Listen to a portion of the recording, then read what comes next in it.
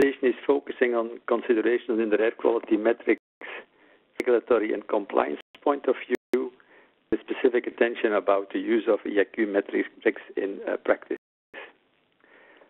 Today, the, there is a lot of, of, systems coming on the market which makes it uh, quite easy to measure IAQ-related parameters. You see here an example of a system with temperature, CO2 levels, and other variables in this for a very reasonable price. Let's say for the euro, you can measure different uh, locations at the same time in the cloud and everything included.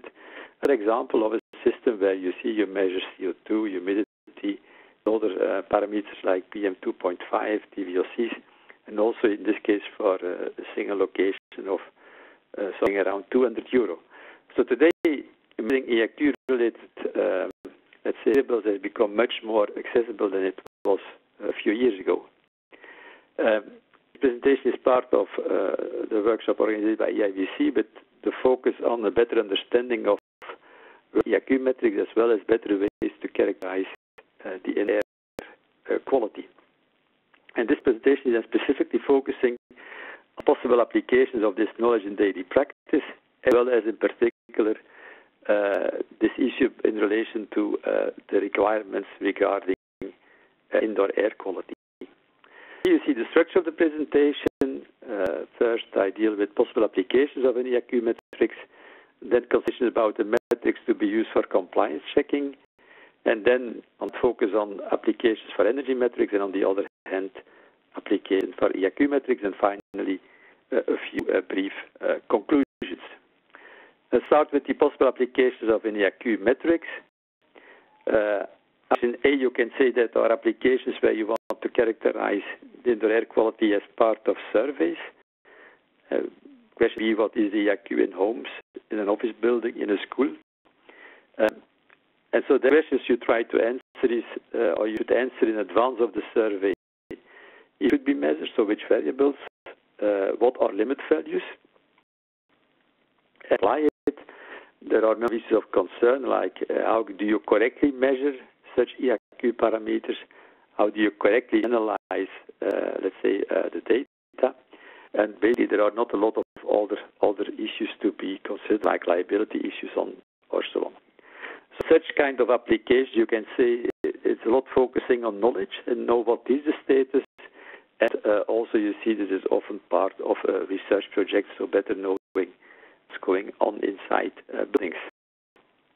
Uh, so here, simplified characterization. Basically, you want a space to measure the number of variables, which you try to accurately and then also accurately report such uh, measurements. And here you see an example of one of such systems where you see indeed that you get uh, various variables, the evolution as function of time, which you then can of course translate into maximum values, uh, average values, and, uh, and so on. First type of application characterizing the indoor air quality as part of surveys. Then what you can call application B, B is to impose indoor air quality related specifications uh, through IAQ metrics. Uh, for example, in the context of working conditions or in a school environment, whereby if you are above one or more limits, uh, might consider specific measures, for example, no longer uh, work in such days, or no possible or, or recommended to occupy such a building. So in this case, uh, who are possible users or possible interested parties, it can be government, uh, in the building, students, health organizations, unions, uh, and so on. Uh, in such if you are above the limit uh, or the limits, plus you might have various IAQ uh, met. You might consider specific measures, as for example, no longer required to work or not even allowed to work. And uh, the usage findings can then be used as possible actions in the context of possible actions regarding usability, but also can have that it, let's say, might involve liability issues of employers or, or uh, owners. Um, when uh, you apply such kind of, uh, let's say, metrics for, for use in practice, uh, issues of concern include uh, when is indoor climate not acceptable, what of actions should be taken as function of the measured values, and about uh, liability issues. So simplified scheme, then the focus is on uh, keeping the indoor climate below certain uh, limit values. Uh, here is, uh, I think, for, for uh, interesting from Belgium, where there is a, since 2016 a regulation regulating the workplaces. Uh, it is set in the legislation that the uh, CO2 level should uh, stay below 800 ppm, with a specific indication that if it is not possible, it should not go above 1200 ppm, and kind of requirement impact on the relation between employer uh, and uh, employee. Uh, legislation, so where you want CO2 level to be below a certain target, or as you know, is an outside level, the increase of CO2, which is plenty by delta, below a certain target. Uh, consider various ways, or there are various ways that you can improve the level. You can, of course, think of uh, mechanical ventilation systems, which through dilution impact uh, the increase in CO2. Or can also, uh, let's say, have air infiltration, exfiltration, which has an impact on the airflow and therefore the CO2 levels. Consider open windows, open doors. So various ways to um, include, let's say, influence the, um, the, the CO2 level. And so practice, you might have the combination of all of them ventilation systems, infiltration, open windows and doors. And so through this combination, you get a certain CO2 level or CO2 increase. Uh, if your increase uh, becomes over a certain limit value, then you might consider uh, or you'd be obliged to take measures which can be in one of these elements like higher airflow rates, or can also be that you have impact on the use of the building, for example, lowering the uh, occupancy rate. The third of application is where you um, say you want to use IAQ metrics to import IAQ-related building installation specification. So focus is on delivering products and installations which meet the criteria. So IAQ metrics are an intermediate step. Who might be concerned with this kind of specifications? That's clearly the HVAC sector uh, of ventilation system, but it can also be air cleaning, filtering. Can also be building material suppliers. Think, for example, of uh, requirements in terms of TVOCs, where clearly carpets, painting can have an impact. So clearly, this kind of accumulated requirements may impact specific uh, suppliers. In this case, so with a simplified scheme, so that you translate the IAQ metric specifications into technical solutions, uh, like here, uh, for example, ventilation system, and to whom are these kind of uh, requirements addressed? So to building and installing installation designers, to the employers, to the researchers, to governments, and to can also be to citizens.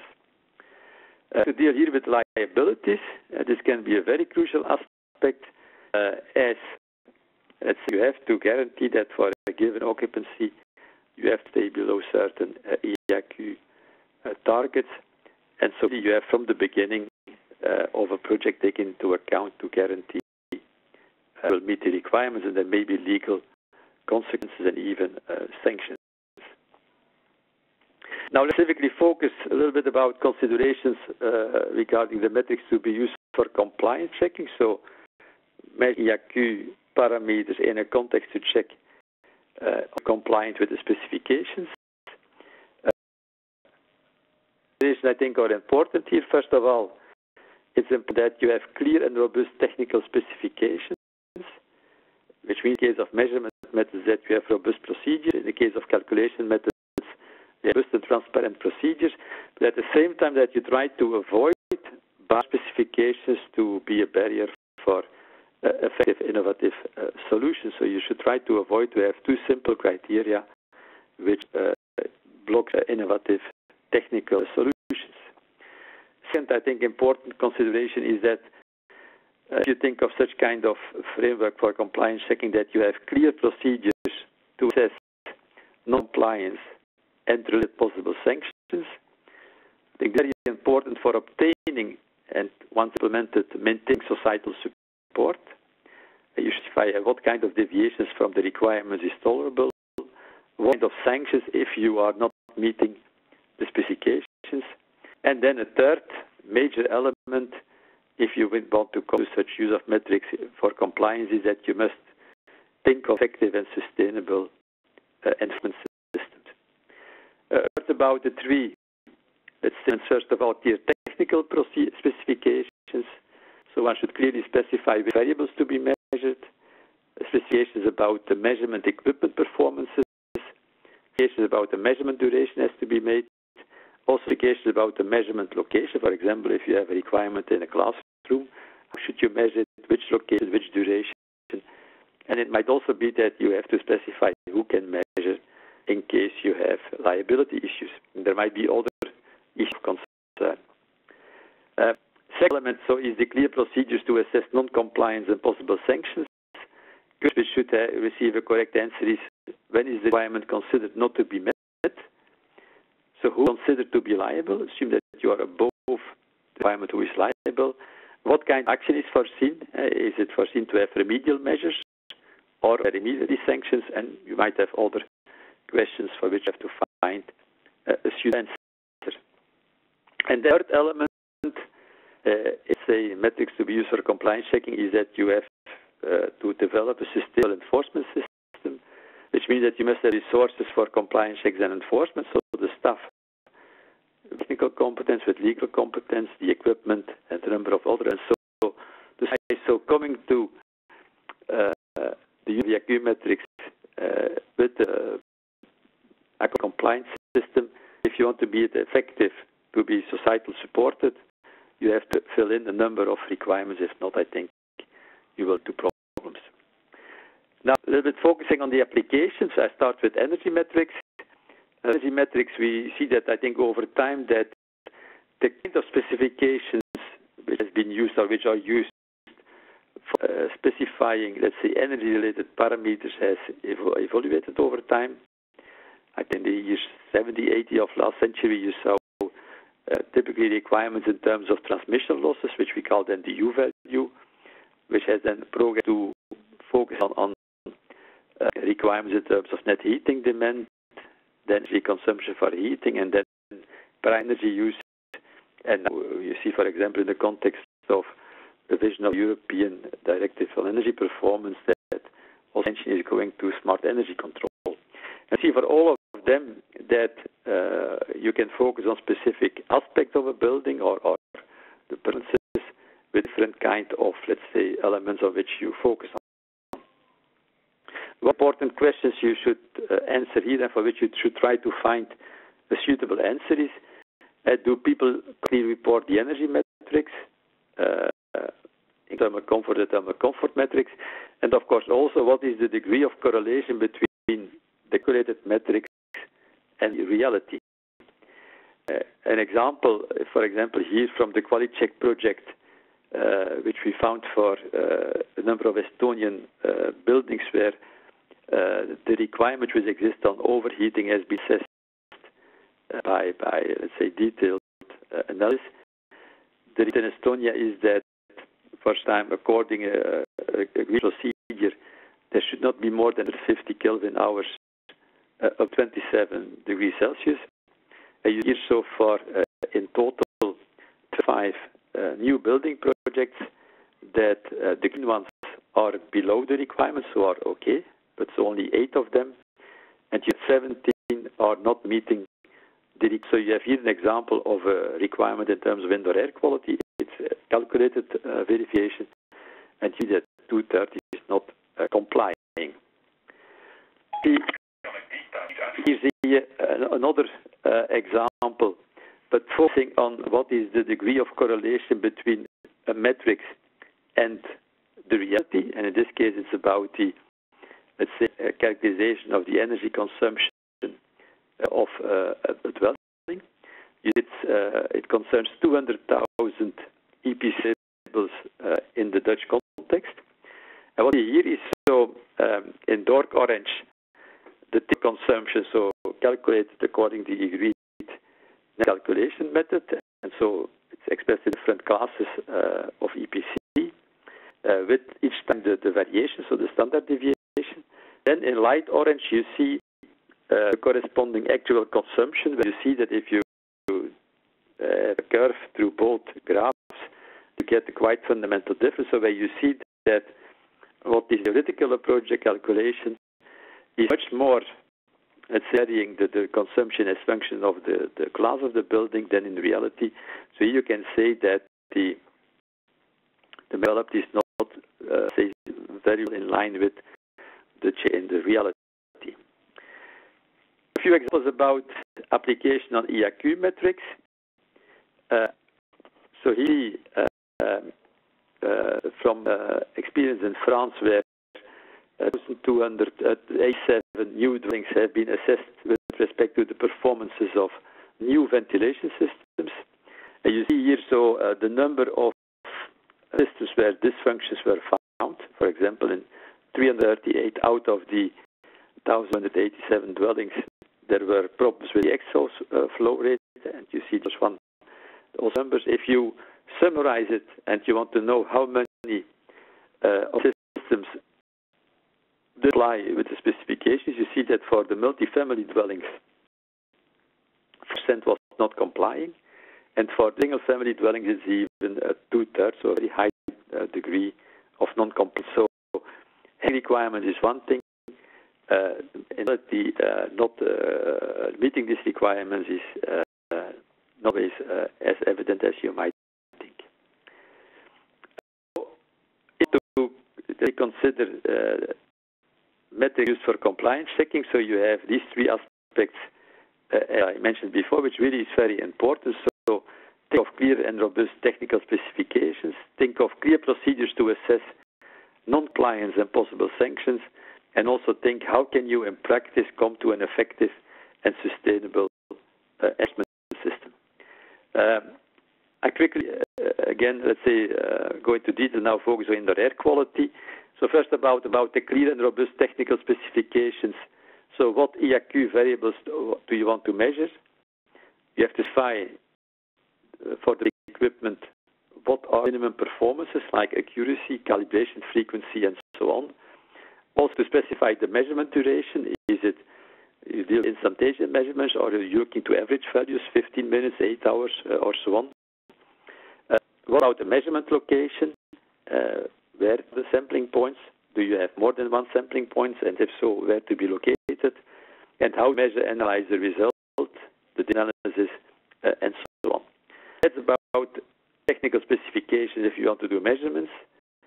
Um, another procedure that, that you can say instead of uh, focusing on the air quality that you say you put requirements in terms of uh, system performances, for example, ventilation rate performances, which be a kind of equivalence with such IAQ uh, metrics. An example on CO2 measurements uh, is that so CO2 itself is not a pollution of concern. So there, if you want to do it correctly, you should focus on the increase of CO2 as the criterion. So how much is the CO2 increase due to the indoor air quality uh, pollution sources? So then you'd have here specifically for the measurement equipment and also about measurement locations taking into account that the typical source are the occupants. So you see there, we focus on one point, multiple points, and also if you want to measure the increase in CO2, you should also specify where to locate the outdoor measurement uh, of CO2. To it that CO2 outside can vary, this is measurements done during uh, one week uh, in Belgium where you see that indeed the outdoor CO2 level can vary substantially between 460 and 180 ppb. So if you have requirements, for example, limiting the increase to 100 ppm, then it's clear that, that there is clarity about what is the outdoor CO2 you have to take. Uh, is typically assumed 400 ppm, or do you really have to measure it and to take the real outdoor concentration? Second part is you must have clear procedures to assess non-compliance and possible actions. I assume that requirement is that the pollution should be below a value X. Question you have to answer and, and to find a robust, scientifically acceptable question is uh, what is the, the, requirement considered not to be met? And once you are 1% above the, uh, the X value, 10%, um, whether to be liable, assume that you are above, uh, is landlord? Is it the owner of the building? Is it the employer? And what kind of actions is foreseen? do you have to take remedial measures or are they directly sanctions? What possibilities for actions in case of non-agreement? Then, as before, one has to think about sustainable enforcement system. Uh, I think it's important that the enforcement framework is in balance with the degree of non-compliance. Uh, I think it's very important that, from a point of view, the kind of uh, consequence or typically sanction is considered reasonable compared with the, the level of non-compliance.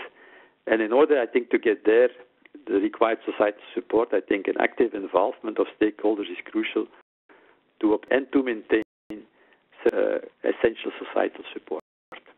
So I come to a few very brief conclusions.